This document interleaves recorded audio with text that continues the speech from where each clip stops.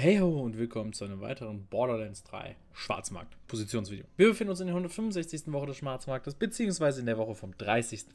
bis zum 6.06. Der Planet, auf dem wir sind, ist wie letzte Woche Eden 6. Diesmal ist die Zone aber Jacobs anwesend und wir müssen oh, ungefähr da hinten hin. Ich zeige euch natürlich einmal den Weg und rede währenddessen darüber, was es diese Woche so Schönes gibt. Denn diese Woche ist eine absolute Banger-Woche, beziehungsweise Banger ist relativ. Ich muss aber sagen, dass ich an keiner Waffe diesmal was auszusetzen habe, was relativ selten ist, muss ich auch gestehen.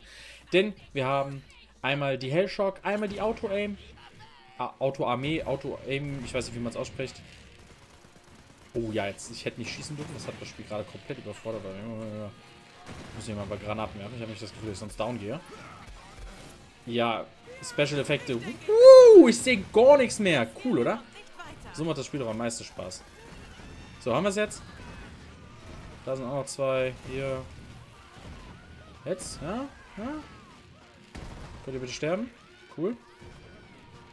So, du noch. Und da kommt auch noch einer.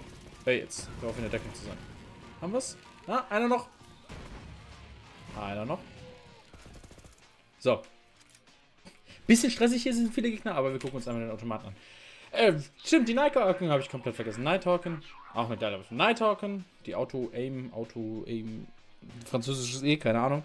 Und die Hellshock. Ich kann euch alle drei Waffen nur empfehlen.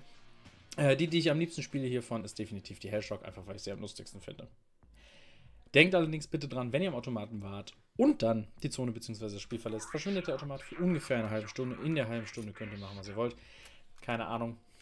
Ähm, staubt mal ein bisschen eure Regale ab oder farmt halt einfach für neues Geld, um es dann wieder beim Automaten ausgeben zu können. Nochmal kurz zur Erinnerung.